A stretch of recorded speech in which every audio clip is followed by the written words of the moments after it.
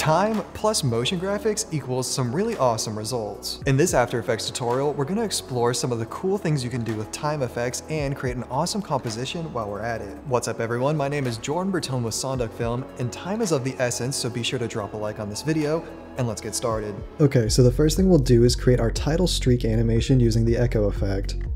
Start by selecting the pen tool. It doesn't matter what you set the fill or stroke to, then we're going to create a little circling path that we want our text to move along.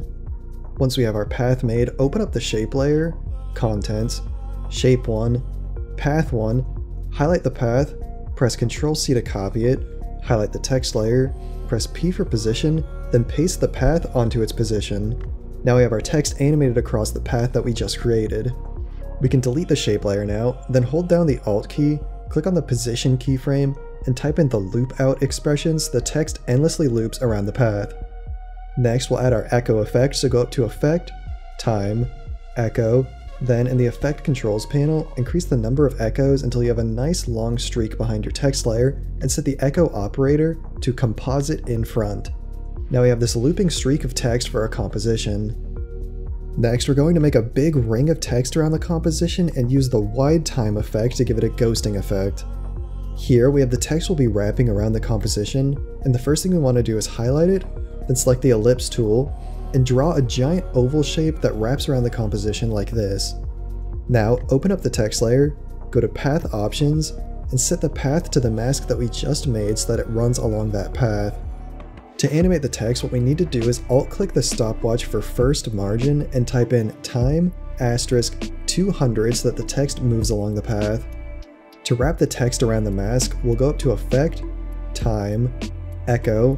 We'll set the number of echoes to 23 and echo time to 1.110.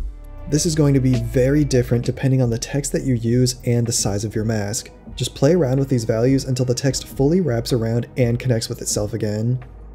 Now for the ghosting effect, what we'll do is duplicate this text layer, highlight the bottom duplicate, go to Effect, Time, CC Wide Time, and set the number of backwards steps to 8 for the ghosting effect. And now I have this cool ring of text animated around our composition. Next, we'll create an animated ball with a motion trail behind it using the echo effect again, as well as some blurs.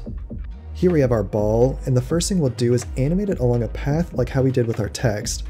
So select the pen tool, draw a nice curving path for the ball to go along, and make sure that it connects back to the start like this. Open the shape layer, copy the path, paste the path into the position of the ball layer, then add the loop out expression to the position animation so that it constantly loops. Now go up to Effect, Generate, Fill, and Effect, Stylize, Glow. We'll set the fill to be fully white so that the main ball stands out.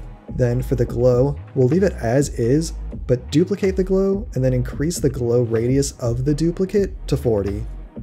Next, duplicate the entire ball layer, highlight the bottom duplicate, go up to Effect, Time, Echo, Effect, Time, CC Wide Time, and Effect, Blur and Sharpen, Gaussian Blur. Delete the fill effect so our bottom circle is the original red color, and go to Echo, set the echo time to negative 0.05 seconds, number of echoes to 40, for wide time set the forward steps to 13, and for Gaussian blur set the blurriness to around 10. Now you should have an animated ball with a motion trail running behind it. Lastly, we'll add a couple post-processing effects and we're done. Start by going to Layer, New, Adjustment Layer. Make sure the adjustment layer is highlighted, then go to Effect, Time, Posterize Time, and Effect, Noise and Grain, Noise. We'll set the posterized time frame rate to 12, and what this does is decrease the frame rate of everything affected by the adjustment layer. If you want to change the frame rate of individual layers, you could just apply this effect to those layers individually. Now set the amount of noise to 12 and uncheck Use Color Noise. There you have it, a great composition that utilizes the different time-related effects in After Effects. Before we move on, as you may know, creating motion graphics can be really challenging and time consuming. That's why we've made thousands of templates to help you save time and produce amazing work under one simple subscription price. For example, you can easily preview templates, let's say from our Pulse pack, and then just click apply. Now you can quickly change the template parameters, and you're done. So if you're looking to get an edge in your business or career, check out every template we have with our links below.